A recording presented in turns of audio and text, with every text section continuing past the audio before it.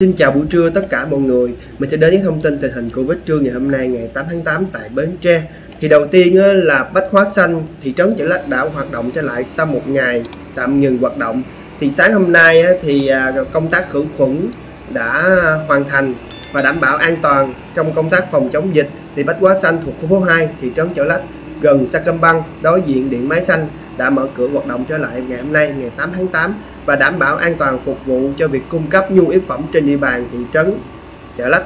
Còn tại thành phố vừa qua đã làm việc với một đương sự lên Facebook xúc phạm cơ quan chức năng.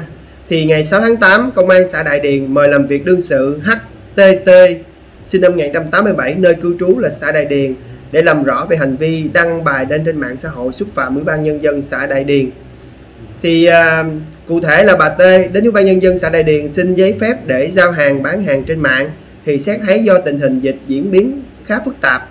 Và lý do của bà T không thật sự cấp thiết, do đó Ủy ban nhân dân xã Đại Điền có trao đổi với bà T là không cấp giấy giới thiệu cho bà. Ngày 4 tháng 8 năm 2021 bà T lên mạng xã hội Facebook đăng bài và có một số hình bình luận xúc phạm đến Ủy ban nhân dân xã Đại Điền.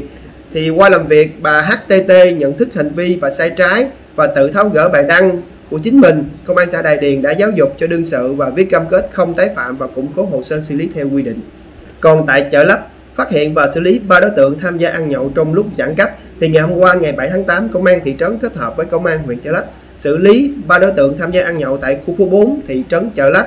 Thì trong lúc này là thị trấn chợ lách đang thực hiện lệnh phong tỏa theo quyết định của ủy ban nhân dân tỉnh về việc là giãn cách để phòng chống dịch Covid-19 một số khu vực trên địa bàn của huyện Chợ Lách thì số tiền phạt cho ba người là mỗi người là 15 triệu đồng tổng số tiền phạt là 45 triệu đồng. Tin cuối cùng do bản tin trưa ngày hôm nay chính là số ca dương tính được ghi nhận tại Bến Tre trưa ngày hôm nay ngày 8 tháng 8.